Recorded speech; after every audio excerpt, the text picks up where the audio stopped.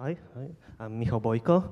Um, I'm junior data scientist at uh, Cloudferro, and today I would like to tell you about um, QGIS plugin that we are developing uh, currently.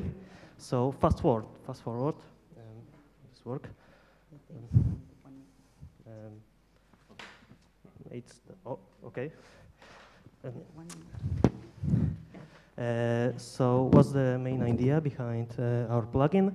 Uh, we are developing currently WMS and WCS services.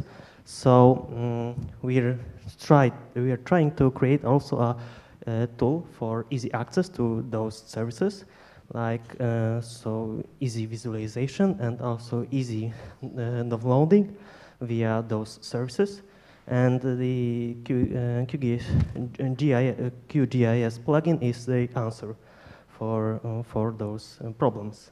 Like mm, you can just, uh, let's see, you can just define the temporal extent and with one click of a button, add a WMS layer button, you can add to your QGIS project a new layer.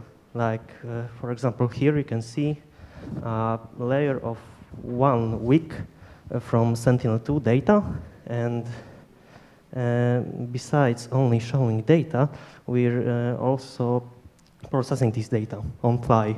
So here you can see those aren't raw original uh, images, but this is a cloudless mosaic. So the pixels that uh, are for clouds are make, made transparent. So just they, they are invisible. And uh, besides only visualization uh, from this uh, function, uh, there's also a downloading function where you just, mm, all you need to do is define time series like in previous step. and you also need to define uh, bbox. And you're doing this, this just by drawing it uh, on the map.